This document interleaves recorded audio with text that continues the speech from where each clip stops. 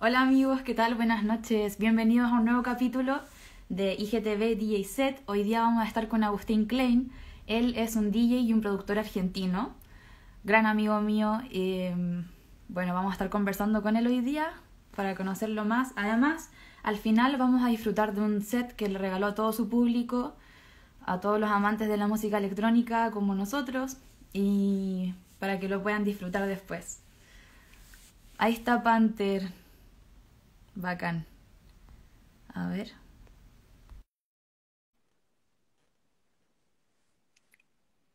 Estoy, estoy esperando a que Panther me acepte. Hola. Hola Poli, ¿cómo estás? Bien, ¿y tú? ¿Me escuchas bien? Sí, te escucho perfecto, todo bien. Ya voy a ajustar un poco la cámara. Dale. Ya, bacán. Oye, gracias por aceptar la invitación. Qué rico que estés aquí con nosotros. Gracias a vos, buenísimo.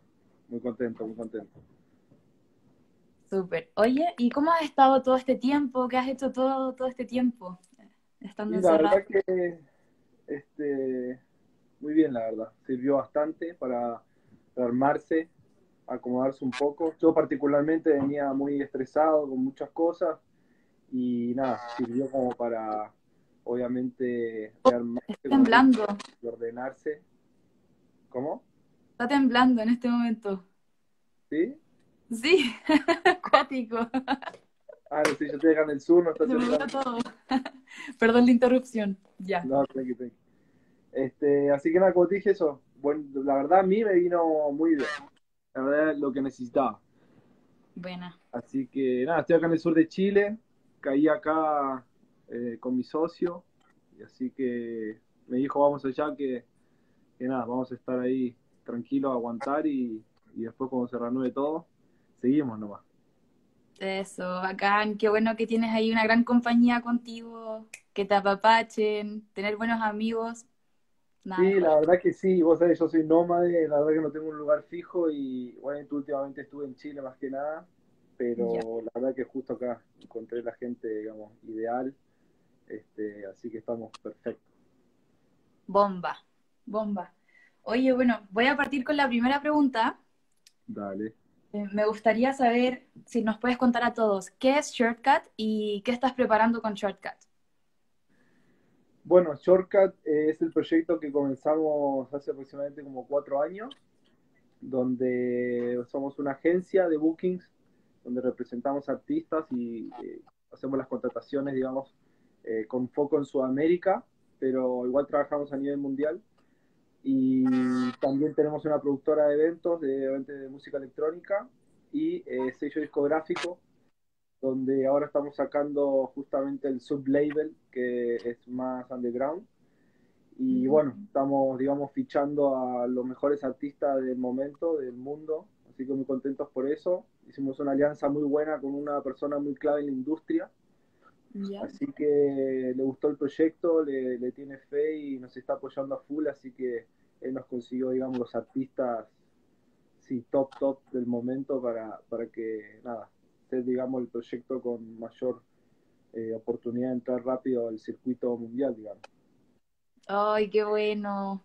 Así que nada, hicimos una, también un rebranding, nos venimos con logo nuevo, imagen nueva. Eh, toda la parte de imagen está a cargo de, de un artista de acá de Valdivia, La Molilla, eh, un artista joven, muy talentoso, así que él, digamos, está hace meses ya, nosotros vamos una semana acá, que estamos a 40 minutos de Valdivia, vamos, vamos a una reunión semanal donde estamos viendo toda la imagen nueva, donde vamos a tener, eh, digamos, cada cover del sello va a estar pintado a mano, hecho por él, dependiendo del nombre del EP, este, vamos a imprimir vinilos, eh, y nada, estamos ahí focalizando, justamente armando todo y, y con todo a full para, para, bueno, cuando todo se reanude, salir con los tapones de punta.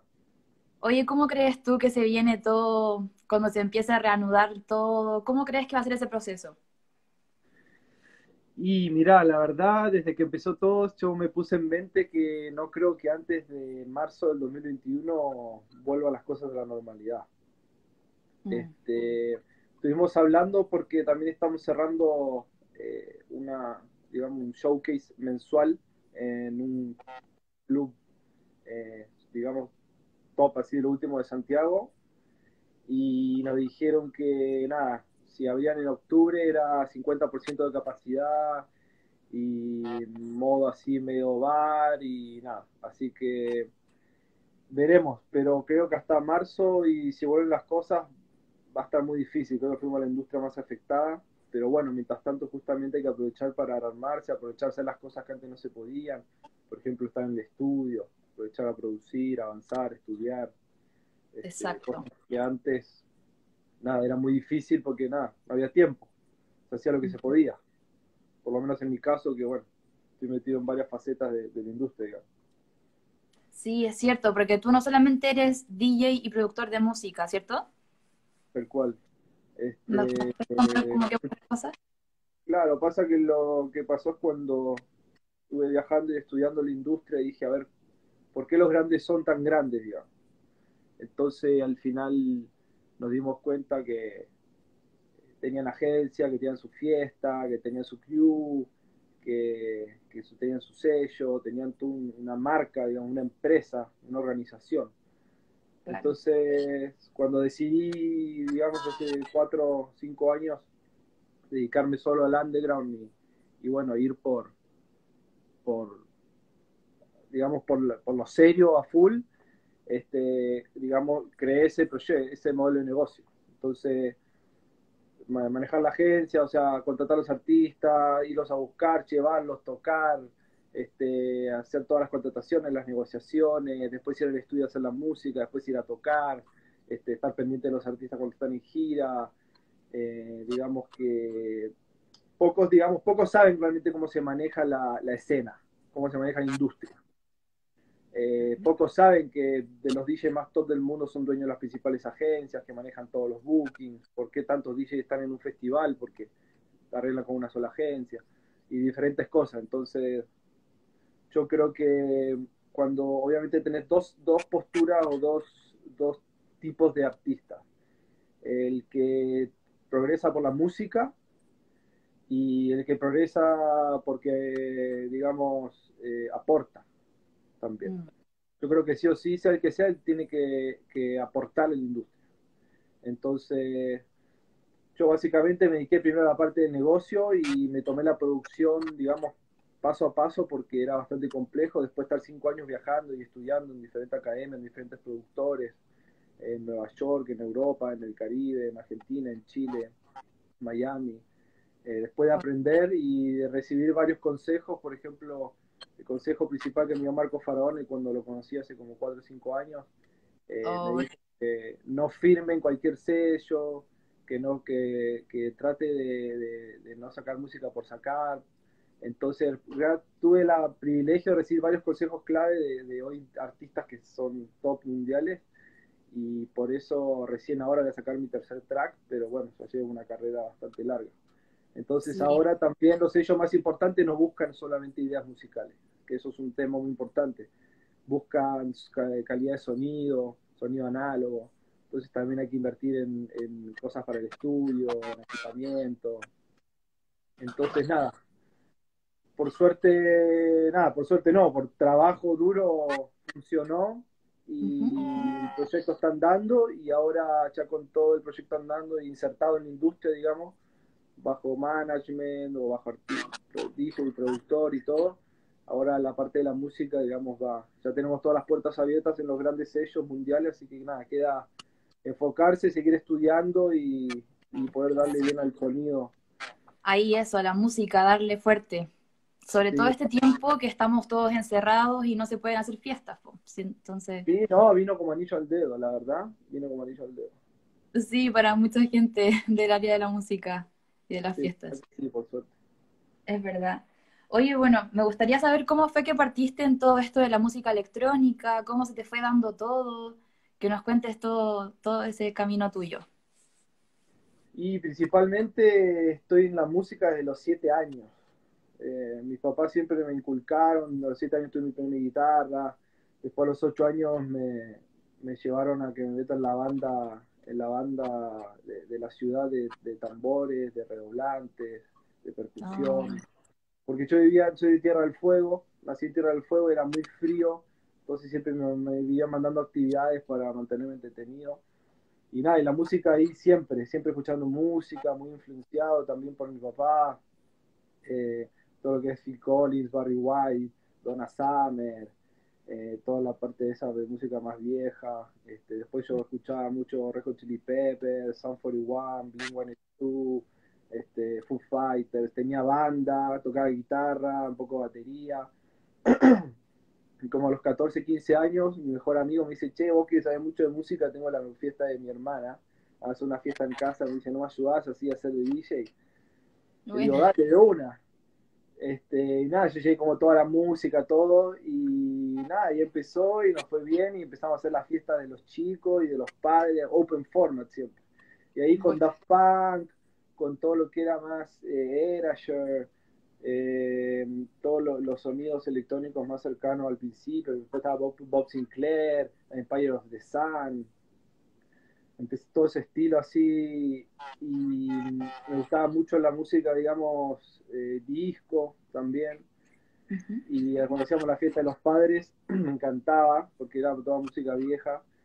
Y después se fue dando, y como mi pueblo era muy chico en Bariloche, después me mudé a Bariloche, este, las fiestas, digamos, eran nada, 10 personas, 15 personas. Entonces ahí como que no era dinero, era por pura pasión. Y después nada, cuando me fui a ir a Australia a los 21, eh, ahí toqué como en 15 clubes, justo me hice muy amigo, me presentaron a la persona correcta, me fue súper bien, y ahí dije, bueno, me voy a dedicar directamente al underground, que más o menos ahí fue la primera experiencia internacional, y ahí dije, listo. Y me dediqué directamente al underground, y digamos que llevo como seis años de underground y seis años de, cultura musical como DJ, pero como te digo, 20 años de, con la música. Con la música, oh, qué cuático, es mucho tiempo. Sí, después toqué el bajo para un show de Pink Floyd, de todo el, álbum de Wall. Claro. Este, cuando tenía 15 años en el colegio, ensayando nueve meses. Entonces, nada, ahora justamente con todo esto, me tengo ganas de, bueno, justamente el Minimal House, que es el estilo que estoy enfocado ahora, eh, tiene mucha música, más que nada así el estilo jazz, mucho piano, este, mucho viento, eh, guitarra, melodía. Entonces estoy volviendo, digamos, los principios y estudiando de vuelta piano. Eh, ahora me voy a comprar un bajo. Y oh, volviendo para también lograr sonido análogo y poder tener una, música más, más música, digamos. Sí, más, algo, un rollo más musical. Yo me he fijado que los argentinos como que nos superan, yo creo que a todos en Latinoamérica, oh, se cayó el phone, el em, encontré que los argentinos son unos genios musicales, como que de verdad tienen, no sé qué onda, tienen en su cerebro, en sus gustos musicales, pero la, por así decirlo, a todos, ¿cachai? La cultura, sí, la verdad que Argentina, como tiene una influencia obviamente italiana, más que nada. Este, acá tengo un problema con el soporte. Ah, dale. Pero bueno, ahí, como te dije, este, eso, volviendo un poco a las raíces. Muy bien, bacán. Eso se aprecia mucho. Más que el punchi punchi, algo más musical, más melodía. Sí, bajos más análogos, este, sonidos más, digamos, no tan digitales. Claro. Eso es lo que buscan, digamos, los sellos grandes. Como te dije, tengo todas las puertas abiertas, pero todavía no, no, quiero mandar hasta no lograr, viste, eso. Sí, es muy importante eso de decidir también por dónde uno va a salir a sacar música, porque se empieza a sacar música solamente por los sellos de tus amigos y por la buena onda y como el amiguismo. Eh, yo creo que sí hay que ser más picky en ese sentido y mm, a veces esperarse, aguantarse, ¿o no? Y no ser tan ansioso. Sí. sí, la verdad que sí. La verdad que hay que aguantarse porque, como te digo, yo me voy aguantando y me han ofrecido incluso hacerme mucha música de voz producción a cambio de fechas y que esto y que lo otro. Y como te digo, o sea, mi carrera no viene del Instagram, o sea, de hecho, eh, sí, claro. tampoco viene de justamente de la producción, sino mi destreza es el mixing, es la lectura de pista y me fue bien por eso y nada, poco a poco, digamos, tomando el camino que, que uno va aprendiendo que tiene que seguir. Claro, por ejemplo, a, mí me pasó que siento que como que dije, ah, ahora aprendí a mezclar, y en verdad no, ¿cachai? Como que de repente estuve muchas veces en situaciones en que estaba tocando frente a público y lo único que quería era bajarme y no, no estaba lista, ¿cachai? Y yo creo que eso le pasa a muchos, de que se quieren tirar a la piscina y en verdad todavía no están listos, y la ansiedad, la ignorancia. Sí, no, hoy en día es mezclan y ya se nombran DJs, entonces es muy difícil. Yo después de estar seis años mezclando cualquier tipo de música, cualquier BPM, en clubes gigantes de Bariloche para las giras de estudio de 3.000 personas, y todos los días, y yo cerraba con underground y todos se iban y los echaba, decía, hay que echarlos, listo, va, yo ponía la música que me gustaba a mí, era feliz, poco lo agradecía porque no mucho me gustaba, pero tenía que echarlos y hacía mi trabajo. Y al final, después cuando me dediqué solo a underground, estuve meses practicando, practicando, practicando, practicando antes de, incluso salir a tocar. Incluso sigo aprendiendo y sigo evolucionando y cada vez hay técnicas mejores. Yo particularmente no me gusta usar Record Box. Eh, me gustan, yo mis sets tengo mezclas que por ahí tengo alguna corrida que otra o temas que son vinyl only y se corren sí o sí y uno tiene que estar todo el tiempo corrigiéndolo, pero eso, es orgánico a mí me gusta, no me gusta que el set sea tan cuadrado, este, tan perfecto, digamos. Sí, me pasa lo mismo, opino lo mismo que tú. Sí, disfruto de eso, digamos. Incluso ahora tengo un mix que mandé que me pidieron de las fechas que, bueno, que no pude ir a Europa, de Londres, del Club de London, que lo grabé. Y tengo un track que se me va a la mezcla, pero de la nada, o sea, se va solo, porque viene un ah. track Binding Lonely, super underground, y se corre y nada, y la pileteo al toque, la mezcla se va, pero igual yo creo que nada, no, no, no, no está mal, no, no lo encuentro claro. mal porque, como te digo, no uso el software y me gusta pura organicidad y mezclar de oído y, sentir el vibe que, guiarme por, por, lo que dice en la pantalla. Tal cual. Bueno, aprovechamos que se está metiendo un poco más de personas para contarles que Agustín nos regaló un set a todo el público amante de la música electrónica como nosotros para que lo puedan disfrutar después de la entrevista y va a quedar disponible en la página. Ahí, bueno, agradecerte también la música, el set que nos estás regalando a todos. Gracias. No, la verdad que justo tardé en conseguir las máquinas para grabar, pero logré traerlas y nada, elegí grabar tres podcasts y me pareció súper interesante para, para, esta, para este portal y, y ahí, bueno, ya los grabé, así que... Bomba. Oye, no sé si llevo como un camión abajo de mi casa, un camión que está metiendo mucho ruido. Si lo escuchas, me avisas. No se escucha nada. Ya, bacán. Eh, Quería preguntarte cómo ha sido trabajar con artistas internacionales y cómo fue que tú empezaste a internacionalizar tu carrera. Em, comencé internacional, en realidad mi carrera comenzó, eh, como te dije, mi carrera underground comenzó en Australia, básicamente. Cuando me fui a vivir siete meses, me fui con un pasaje de ida, después volví y ahí de ahí volví a Australia, que tuve mis primeras fechas, digamos, fuera de Argentina, primera vez que fue a los 21 años, y de ahí me fui a vivir a Miami y que tuve una fecha, dos fechas, porque en ese momento igual estaba, estaba viendo, analizando, y ahí justamente empecé a, estar en todos los backstage y demás, porque estaba haciendo videos y demás. Y ahí empecé a hacer contacto, empecé a hacerlo la gente, empecé a conocer, a estudiar la industria. Claro. Conocí, una persona que fue mi manager, que Andrés Zenerman de Chile, me trajo a Chile y ahí fue como empecé, digamos, se fue dando, pero también por estar buscándolo, digamos.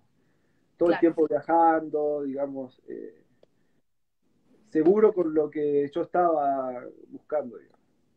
Buena. Un riesgo que tomé igual, es un riesgo porque te puede ir muy mal, como te puede ir muy bien o como te puede ir más o menos. Sí, al final es así, va bien, mal, bien, mal, bien, mal, después uno se acostumbra, pero al principio por ahí son golpes muy duros que te desaniman, este, y decís, no, pero bueno, así se dio, mezcla de viaje, y como te digo, personas que me veían y me decían, pum, vení, me gusta, pum, me llevaban a Chile, el otro me vio, me llevó a Aruba, el otro me llevó a Nueva York, y así empecé, gente que me vio en ese momento, eh, tenía yo en ese momento tenía facilidad para viajar y demás, entonces no me costaba, y bueno, todo, todo calzó, digamos que se te haya cruzado gente como tan especial en tu camino que te ha ayudado.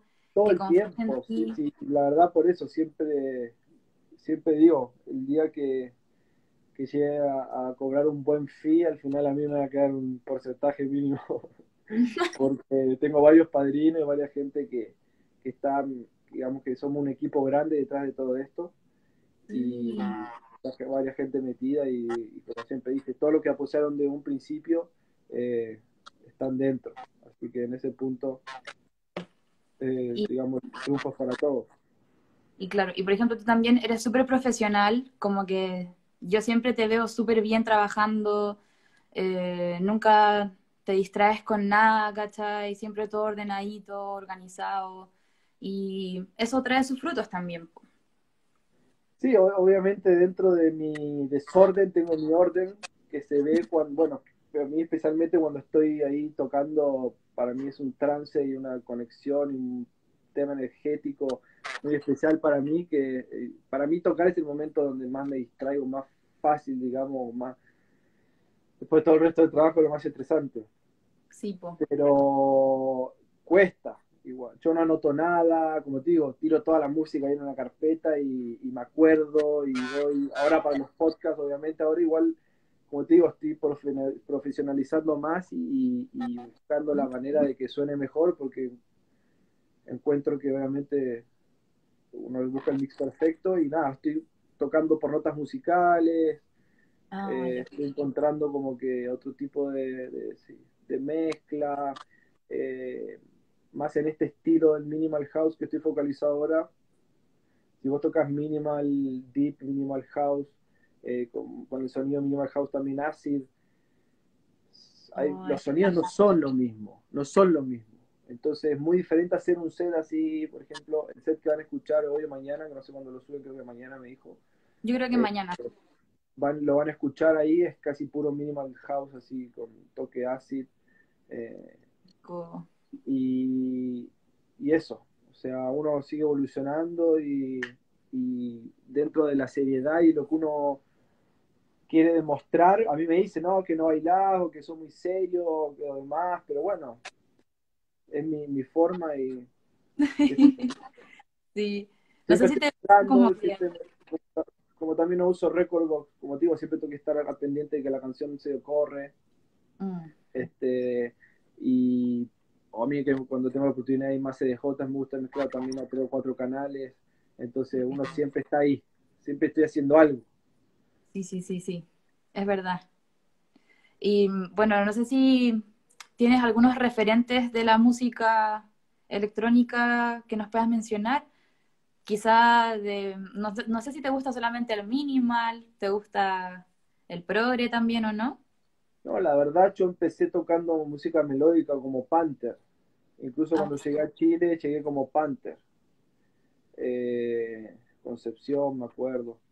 Eh, toqué ahí con Butano en, la ICE, toqué en Sala Omnium con Sin, eh, en la feria toqué con Agustín Klein, esa misma gira, y tengo mi alias melódico y tecno, tecno melódico, deep, melódico para lo que es Panther y todo lo que es groove más fiestero para Agustín Klein. Pero bueno, me focalicé en Agustín Klein, pero ahora estoy armando un álbum que lo tengo ahí a medio hacer de Panther, y tengo ganas de, obviamente voy a darle también por los dos lados, porque como digo, yo vengo de la música y todo terminó, digamos, la música electrónica porque yo más me podía expresar. y, y bueno, y eso. Y por ejemplo, ¿tú qué otra música escuchas? Porque no, me imagino que no... Escucho, muy poca, no escucho música electrónica. Escucho jazz, chill, mucho chill hop, eh, hip hop, este, un poco de blues, eh, mis bandas favoritas así como Red Hot Chili Peppers, Coldplay, eh, cosas así súper chill, la verdad. Buena. Y de música electrónica me gusta, el tecno me gusta, pero el tecno más fiestero, más grubero. Eh, y después el progresivo, así como Catania y demás, como para ir a disfrutarlo también está bueno. No, sí, como te digo, me gusta mucha, mucha, toda la música. Toda la música. Menos el reggaetón y demás. Eh, no, Pero bueno, qué sé yo. En su momento daba plata y uno no quedaba otra. Y en el trabajo de uno tiene que comer. Pero bueno, como te dije, me tuve que ir a Argentina para poder dedicarme al underground solamente y, poder vivir de eso. Claro. ¿Y qué pasó? ¿Cómo estaba la escena en Argentina? ¿Qué estaba pasando en Argentina con la música electrónica cuando te viniste a Chile? Eh, cuando estuve en Chile hace, tres meses, yo me fui a Argentina hace seis años. Y de ahí no he vuelto nomás poradicamente por un mes o, a visitar o a descansar, digamos. Eh, y la escena en Argentina, nada, muy cerrada, como siempre, muy cerrada, las escenas más cerradas que hay.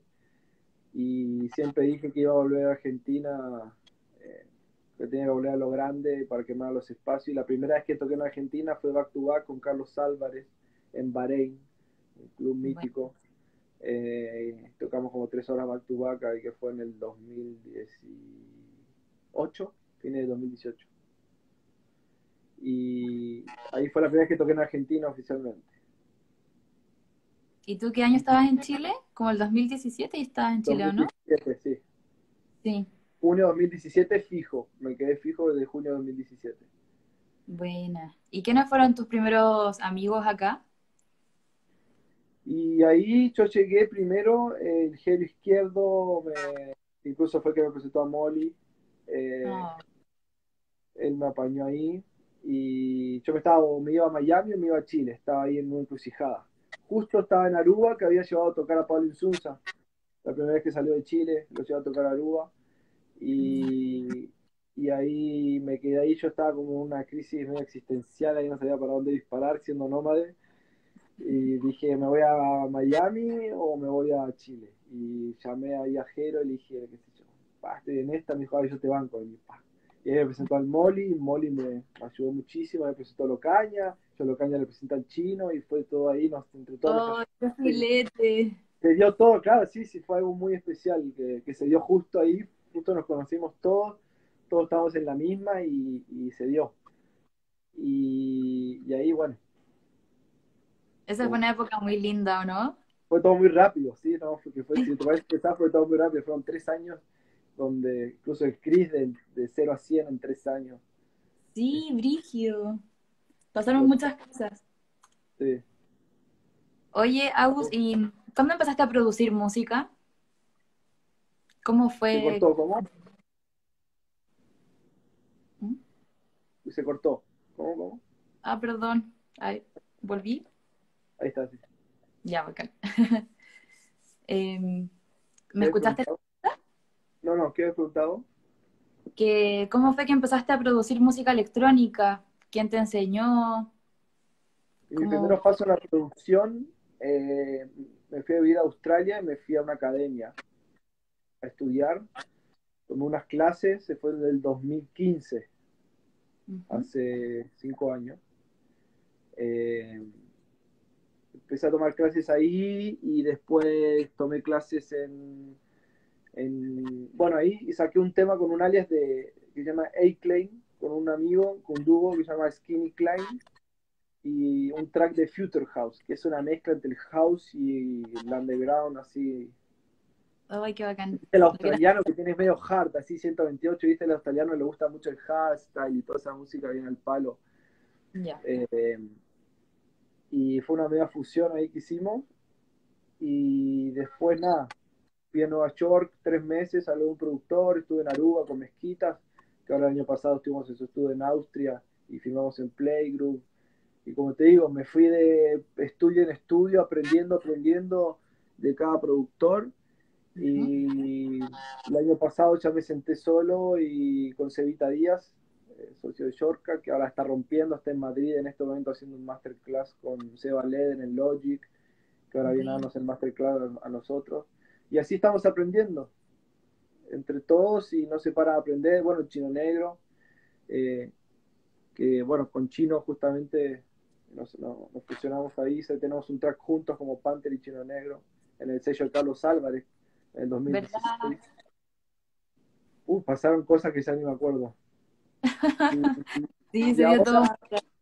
Y ahora encontrando ya cerquita del sonido, cerquita del sonido, haga falta que llegue el equipamiento analógico para ya tener el sonido ese que buscan los sellos grandes y, y salir nomás. Sí. ¿Tú nos podrías decir cuál es la clave de los argentinos para ser mejores que todos en todo?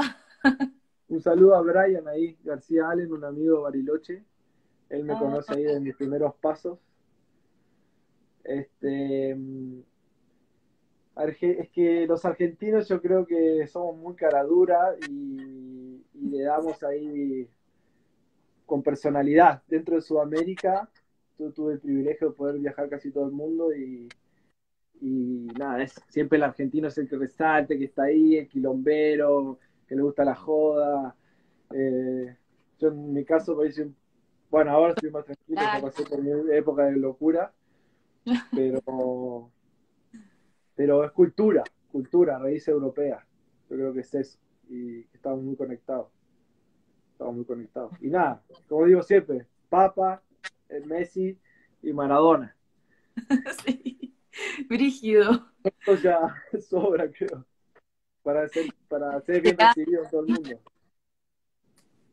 Cerati también, es como, en verdad Bueno, ni hablar de la música, ni hablar de eh, actores. E, el cine, sí. Sí, por suerte ahí. Y eso es lo que también tenemos un español neutro. Este, es común que te enseñen a hablar inglés igual en Argentina. Entonces, eso también está bueno. Oye, ¿tú, ¿tú hablas inglés? Sí, desde los siete años. Buena. ¿Y algún otro idioma? Sí, hablo un poco de francés, un poco de portugués, un poco de italiano. Eh, me manejo bastante. El idioma, el inglés para mí es como mi primer lengua también. Ah, para, pensar, en inglés. Sí, eso Sí, tuve el privilegio de ir a un colegio bilingüe y tener más materias en inglés que en español. Incluso biología la tuve recién en español a los 17 años cuando me cambié de colegio. Y me acuerdo oh. estaba en un colegio estatal estudiando biología con un libro así en inglés, al revés de inglés a español. Cuático. Sí. Y bueno, el saber inglés está abierto muchas puertas, ¿o no? Sí, muchísimo, muchísimo. Aparte, también tengo privilegio de viajar desde los cuatro años con mi familia, de los cuatro años que viajo y tener tengo amigos de en todas partes del mundo desde muy chico y todo el tiempo estoy hablando, entonces tener una, conversación, una, conversación fluida, eh, más en un club que hay mucho ruido, entonces poder hacer sociales en fiestas eh, es, clave. Yo tuve esa clave del idioma, que, que pude entender y hasta en otros idiomas, y es, muy clave. Para esta industria, incluso me acuerdo, me salió un recuerdo de la primera vez que hablé con Chino Negro, le escribí en inglés y me respondió en inglés, él con el traductor que no hablaba. ¡Qué risa! oh, me encanta tu música, no sé qué. Oh, thank you, Agustín, me puso y después me di cuenta que era peruano. Oh, qué risa. Ahí el Chino Negro enseñando en inglés, hablamos por WhatsApp, todo en inglés. Ahí le estuve dando, ayudando. Bomba, soñado. ¿Con quiénes más has trabajado acá en Chile, eh, musicalmente, aparte del chino? ¿En producciones? Sí. Eh, con Seba Díaz. Y no, con Seba Díaz nomás. Pasa como te digo, creo que tenemos hecha como 40 canciones, pero no, no queremos. No. no. Eh, son buenas, pero no es algo más de lo mismo. Entonces, hasta que no te digo, ahora tenía nueve canciones, iba a firmar todas, las tenía casi prefirmadas y te dejé, terminé dejando una. Ya. Te voy a firmar ahora, se la mandé, la quise sacar en el sello de Matías Prieto porque hace años que me está pidiendo. Y fue de los primeros también ahí que, tuve buena relación acá en Chile. Y creo que tiene un buen sello. Y Fefo de Bariloche, un amigazo, de mis mejores amigos, un abrazo. Ahí está ahí, Taruk. Y le dije, Mati, tengo, tengo ahí tres tracks. Elegí uno y, y elegí uno, así que en octubre sale. Buena. Por, VA Music, sí.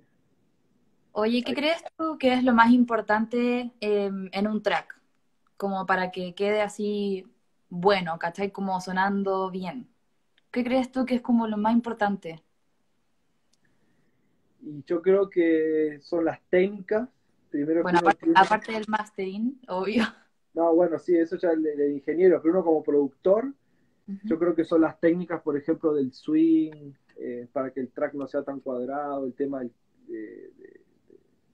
del, swing, del groove, y obviamente todo el proceso de sonido, o sea, todo lo que fue la parte de compresión, la parte de ecualización, este, eh, usar mucho lo que es el envelope, que es el ataque, el decay, el sustain, eh, todo, todos esos parámetros que dentro de la producción uno de los periodos pasa por alto y se pone a, digamos, el LFO, eh, todas cosas que directamente son, ¿cómo te puedo decir?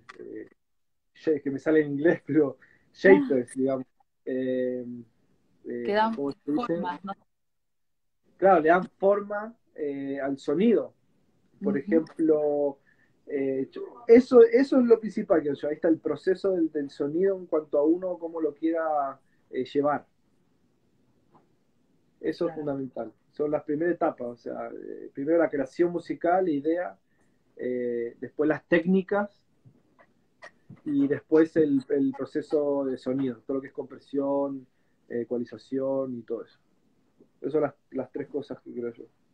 ¿Y tú qué crees que es como clave para no perder la energía en un DJ set?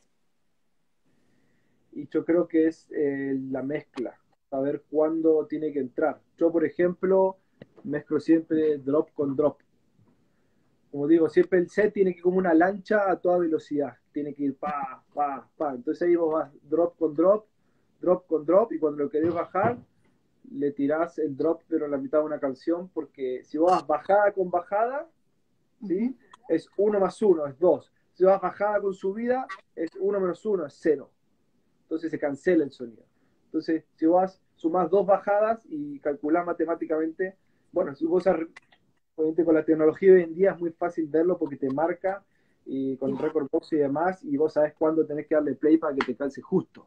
Yo te digo, ¿cómo, eh, ¿cómo lo haces si no tienes Recordbox? Porque con Recordbox Matemáticamente. A veces, ah. igual a, veces, el, el, el, sin Recordbox, a veces que te lo, cuando la CJ ya te lee mucho el track, te lo va más o menos diciendo el espectro. Ah. Pero se ve así muy... Se ve, y, cuando va cargando, ¿cachai? Entonces tenés como más o menos, y nada, uno ahí visualmente sabe cuántos compases son, 32, 16, 8, 4. Entonces yo digo, ah, tengo, yo digo, bueno, quiero usar este drop, quiero el track que viene, quiero que salga en este drop. Entonces, tengo que calcular a qué altura del otro track que está sonando, tengo que tirar cuántos compases para que me, me, calce. Sí, sí. A veces pasa que veo que no calza, puk, loop, loop, a que calce y lo calza. Sí. Pero eso es la dinámica en la mezcla. Eso es fundamental. Y después, como te digo, las notas musicales y, también el estilo y el vibe que vos quieras llevar, si querés empezar al palo y bajar y subir, si querés ir progresivo. Claro. Eh, saludo a Maruto 10, uno de mis mejores amigos, ahí de Bariloche. Ah. ¿Cuándo, de nuevo por Bariloche te dicen? Cuando pases Ojalá para Año Nuevo, como la fiesta del año pasado, que tuve la oportunidad de tocar Año Nuevo con todos mis amigos en el Cerro Catedral, que eran como dos mil y pico de personas, estuvo épico. Oh, soñado. Épico, sí. Bacán. Mira, yo te, te, preguntaba eso como de qué es lo importante para que no se baje la energía de un DJ set, porque a mí me pasa que creo que lo más importante cuando uno hace una selección musical es fijarse también en los hi-hat. Como que creo que los hi-hat son muy como la energía de repente del, del track. El estilo. Sí. Tenés el minimal, minimal house y te house, tenés hi-hat más cerrado, más abierto, tenés doble hi-hat, depende, tenés, depende del estilo. Pero yo creo que, como te digo, va mucho las notas musicales y va mucho en calzar los drops con los drops y las bajadas con las bajadas. Eso es clave. Es pura matemática, es pura matemática. Sí. Y nada, y también el estilo, si es más viajero, no, si es más agresivo. O sea, por ejemplo, ahora yo lo que uso agarro y no armo los sets cuando toco. Sino que ahora voy a cambiar, por ejemplo, estoy en un proceso, voy a cambiar y voy a ordenar toda mi música por notas musicales. Una carpeta de 1, M, todas las notas mayores, todas las menores, del 1 al 12 que es. y, y ahí, listo, por nota musical. Y después, eh, como te digo, ahí vos fijate si es más melódico, más viajero, eh, más agresivo, vocal más hip hopero, vocal más eh, soulero, es a medida de lo que uno quiera ir, o sea, lo que uno quiera ofrecer. Bueno, ¿y mm, a ti te gusta el techno de repente? ¿Algún estilo de techno? Sí, o sea, me gusta el techno, me, gusta tocar techno más que escucharlo. Ya. Eh, pero inclusive ahora estoy, voy a sacar un tal de techno, porque tengo la, mano para sacar el sello de Marco Faraone, que es muy amigo mío, y para su sello necesito sacar un techno, pero ahora decidí hacerlo porque sacó un subsello dentro de su sello que es Uncage, que es un techno más industrial, sacó un subsello que es un tech house al palo, pero un, digamos un techno houseero con toques de minimal, eso como un minimal techno, lleva el palo, que es más cercano a mi estilo. Entonces ahora dije, listo. Eh, le dije, Marco, después de cinco años, eh, que ahora cuando estuve en Europa me mandó un WhatsApp cuando vio lo que estaba pasando en Chile y me dijo, hermano, ¿cómo estás? ¿Cómo está Chile? ¿Qué sé yo? Le digo, no, si estoy en Italia. ¿Cómo? Me dice, yo toco ahora el viernes, venite, en Volta. Oh, sí, dale, voy. Fui, nada, me tuve que bancar 7 horas de tecno a 134 BPM, con él ahí en la cabina, igual, eh, nada. Qué risa. Sueño. Eh, y ahí, nada, me dijo qué pasaba con la música, le dije que, estaba ahí dándole. Y después le mandó un, por Instagram un mensaje y me mandó su mail de nuevo. Eh, y me dijo, mandame ahí, así que nada, con el tecno lo, voy a hacer por el hecho de que puedo tener soporte de Marco y incluso cuando Marco tocó ahora con ¿con quién vino a tocar? Con Ben Clock y uno más, no, la última vez que fue en, en, Broadway. Marco habló con The Clan para, para meterme a tocar y bueno, ya tenían el line-up cerrado. Igual me dijo, no te conviene porque te van a meter de 8 a 9 y no te conviene, me dijo, no sé qué. Ah, ya por el tecno sí, lo haría por el hecho de Marco, de estar con Marco. Buena. Ay, tenía una pregunta recién y se me olvidó. Pucha. Bueno, pero por mientras, eh, me gustaría que nos cuentes eh, a qué países has viajado, qué has hecho en esos países y eso. Em, ¿Como artista? Sí, como artista. Eh, bueno, como artista estuve en Australia, en Sydney, toqué como en 15 clubes. Eh, fue una experiencia súper buena, tenía 21 años. Eh, después estuve en Miami y en Nueva York, también toqué en, ambos, en ambas ciudades. En Miami toqué en Treehouse, me acuerdo que un sábado, noche de locales, el jueves estaba Popov, el viernes Cataño y el sábado estábamos nosotros. Ah. después en Nueva York, en una terraza, que esa noche tocó Chusa Ceballos. No, Chusa Ceballos, Víctor Calderone. Eh, en, Aruba, en Aruba toqué eh, varias veces, incluso estuve ahí en, un, el Electric Festival que tocó Loco Dice. Este, después toqué en Ecuador con Shaft, toqué en, Ecuador en tres ciudades, en Puerto Viejo, Manabi y, Guayaquil, en Bogotá, en Colombia, en Baum, en el mejor club de Colombia con Antonio Pica. Me llegó una sorpresa muy grande que la gente empezaba a editar mi nombre antes de tocar y yo iba como warm-up de Antonio, me terminaron metiendo de main y estuvo épico. Lleno, yo había tocado Martínez Brothers, imagínate. Una eh, Sí. Y después en Pereira con mi amigo Julián el otro día. Eh, ¿Qué más? Eh, bueno, Argentina, Perú, toqué en Lima. Ahora, bueno, se me cayó todo lo que tenía en Perú por este tema. Em, ¿Qué más? Bueno, em, Milán dos veces, Barcelona, en, City Hall. Madrid tuve tres, tres fechas el año pasado. Em, eh, ¿Qué más? Eh, Nápoles. Has viajado harto. Sí, Nápoles. Eh, y son dos años eso. ¿Qué más? Miami. Fui el año pasado también, tuve dos fechas en Miami. La verdad que mucho, por suerte tengo la, suerte de, bueno, obviamente no es suerte, con mucho trabajo, de haber estado en varios países y, nada. Y sigue, ahora este año tenía 12 fechas en Europa ya, pero bueno. Qué rabia, no lo puedo creer. Sí, obviamente ya se, se, fue todo para atrás. Pero bueno. Aprovechar este tiempo. Sí, obvio, full. Oye, y mm, de los back-to-backs, ¿te gustan los back-to-backs? ¿Te gusta hacer back-to-back? Sí, me gusta hacer back-to-back, es divertido hacer back-to-back. Eh, pero depende, obviamente.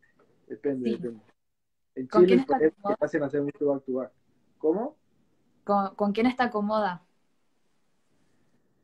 Eh, con Molly habíamos hecho muchos back-to-back, la rompíamos en un momento. Sí, es verdad. Estuvo buenísimo.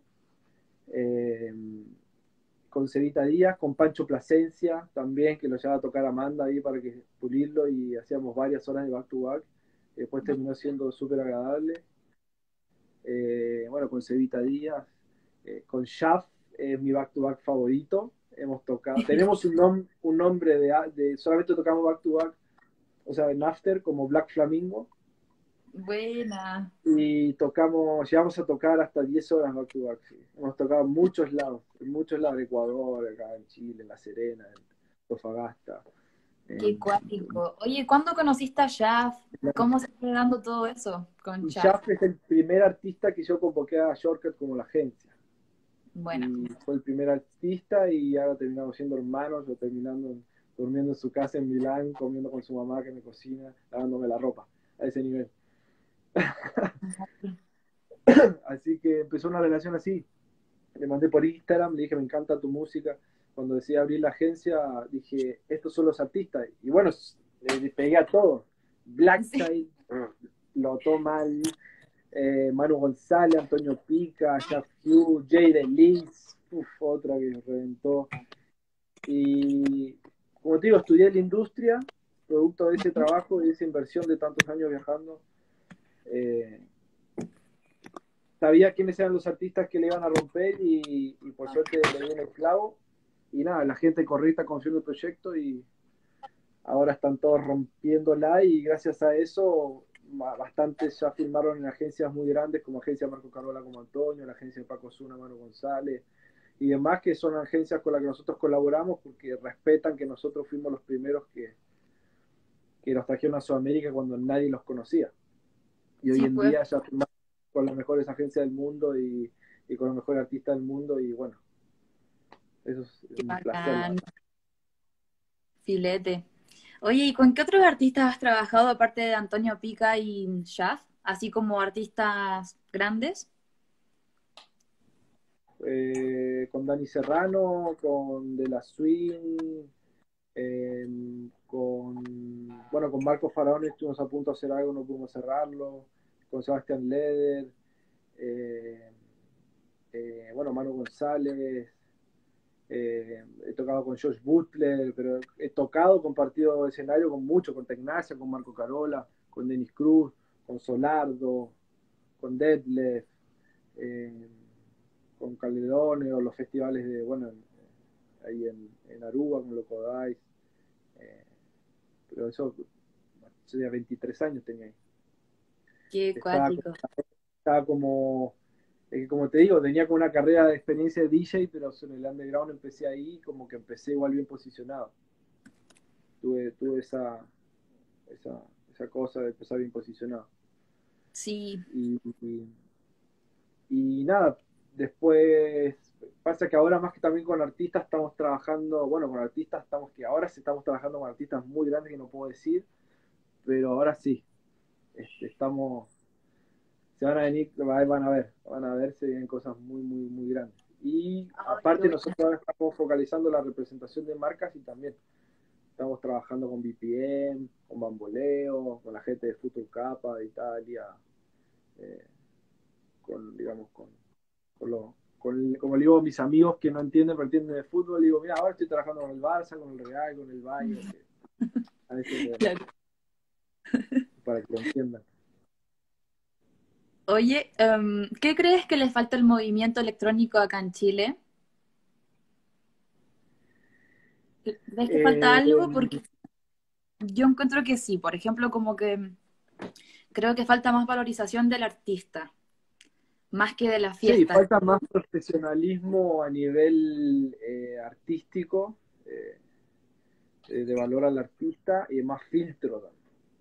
Mm. falta más, más, Pasa que, es que el tema es que, mira, yo llegué justo a Chile cuando me fue bien porque justo llegué en el momento del boom donde empezaron los artistas más chicos y nosotros dijimos los primeros artistas y demás, y, boom de la música electrónica, y abrieron clubes.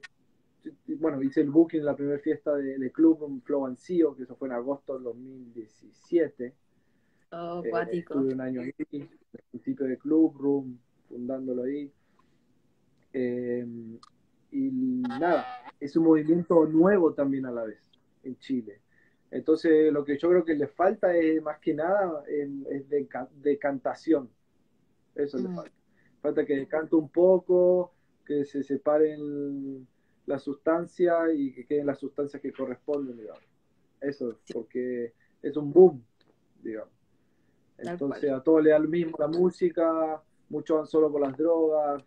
Entonces, los que tocamos estilo más, eh, le llamo yo más elegantes, eh, o más underground por ahí a gente no le apetece y uno no, no, no, le, no les es cómodo tocar, a veces ni, ni, quiere tocar, pero lo tiene que hacer por la plata porque es el trabajo. Entonces, eso es. Decantación para que el artista también disfrute más la hora de tocar, pero muchas veces uno toca pero no disfruta, lo hace por la plata. Sí, es verdad eso. Hay muchos que lo hacen por plata, por likes. Eh, una vez vi una publicación tuya que decía como, ¿qué pasa si un día se deja de existir Instagram y de pronto ya no existen más DJs.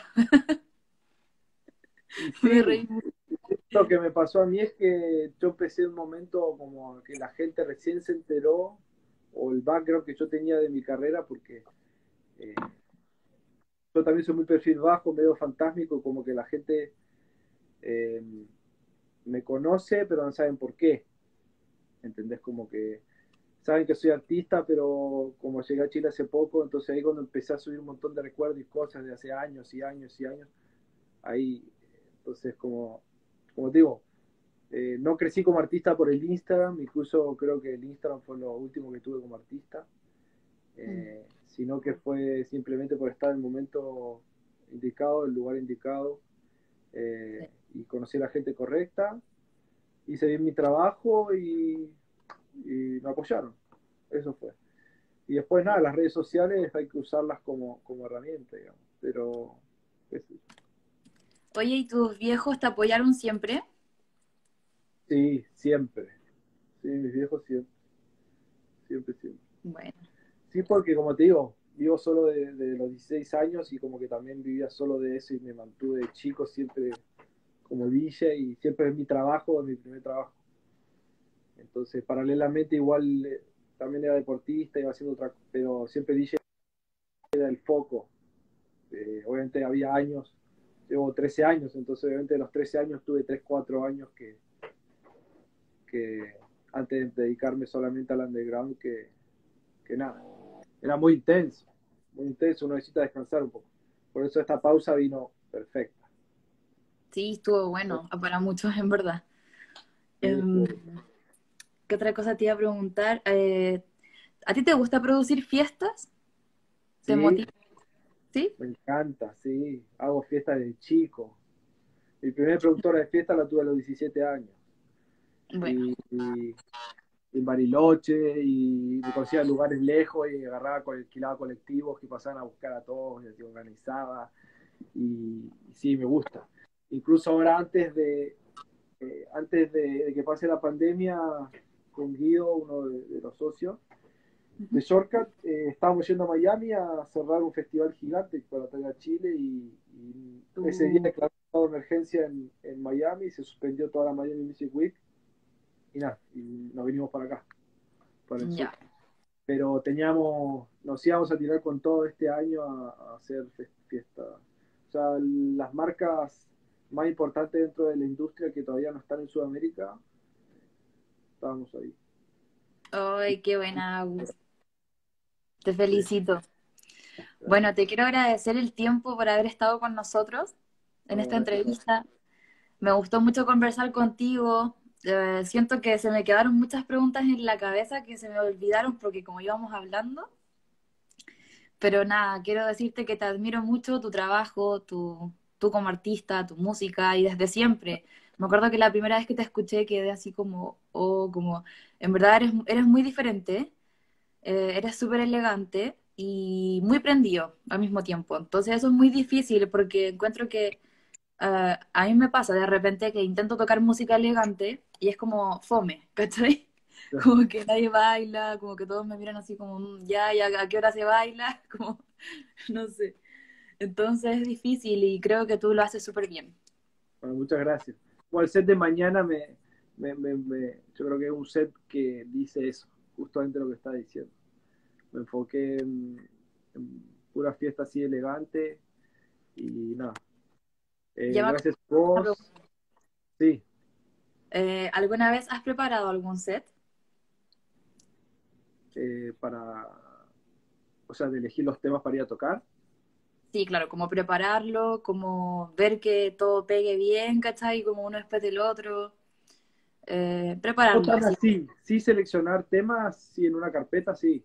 Sé que voy a tocar tanto tiempo, digo, listo, para tanto tiempo, no sé, sé que para una hora necesito 20 tracks porque son 3 minutos por de track, 3 por 2, 6, 60 minutos, listo, chao. Selecciono 20 y los tiro. Pero sé que cada, cada 20 tracks yo tengo una hora. Pero, hey, Carlito, pero eso, más que eso, no. Más que eso, no, porque incluso siempre termino saliéndome de la carpeta, porque la lectura de pista me hizo otra cosa, y por eso me cansé. Entonces, lo que, lo que encontré ahora directamente, que voy a hacer ahora, pa, todo por nota ordeno. Y de ahí, Sí. de todas las notas que voy, ahí voy. ¿Sabes qué? Creo que es un muy buen consejo ordenar por nota. Demasiado bueno, muy importante y queda todo mucho más parejito, más ordenado. Pero tú siempre, no, tú no has tenido nunca problema con eso. O sea, yo jamás he sentido que un set tuyo se baja o como que un track no pegó después del otro o algún track malo o una mezcla mala. Nunca te he escuchado nada malo, así jamás. Bueno, gracias. Alguna vez seguro me pasó, capaz que no justo cuando me escuchaste, pero eh, igual como te digo, yo no, no me deshago de música igual. No sumo música, me deshago. Yo siempre voy al revés de todo. Eh, creo que es, es mi técnica, ir al revés de todo. Creo que eso te hace diferente. Entonces, no siempre, no, que me deshaga de música no significa que siempre toque la misma música. Eh, sino que al, al filtrar tanto la música, ya tengo el estilo muy marcado. École. Eso es. Sí. Y al final puedo tener mil tracks, pero es toque el que toque, sé que va a andar bien. Eso. Ay, me- me- yo estoy en ese proceso ahora y encuentro que es muy difícil, en serio. Aparte que escuchar la música por los audífonos, eh, encuentro que toda la música suena diferente. En cada lugar que uno toca siempre suena diferente. Sí. Entonces, como que no hay nada cierto, ¿cachai? Y los para más underground o como siempre, siempre hinchaba con el tema del bajo, del bajo, del bajo, que haya buen sonido, porque yo que me, me focalizo en la línea del bajo exclusivamente, eh, al final después la música queda aburrida si suena, si es pura lata, pues, como escuchar Claro. música en el celular. Sí, Entonces, al final es eso. Como que es súper fundamental el audio también. Sí, muy importante. Bueno, ahí cerramos la, entrevista. Te mando un abrazo muy grande a la distancia. Quiero verte pronto, al Moli también. Sí. esperemos vernos pronto. Muchas gracias por, por, por lo No, gracias a ti por tu tiempo. Muchas gracias. Dale, beso, nos vemos. Bien, Gracias, chao.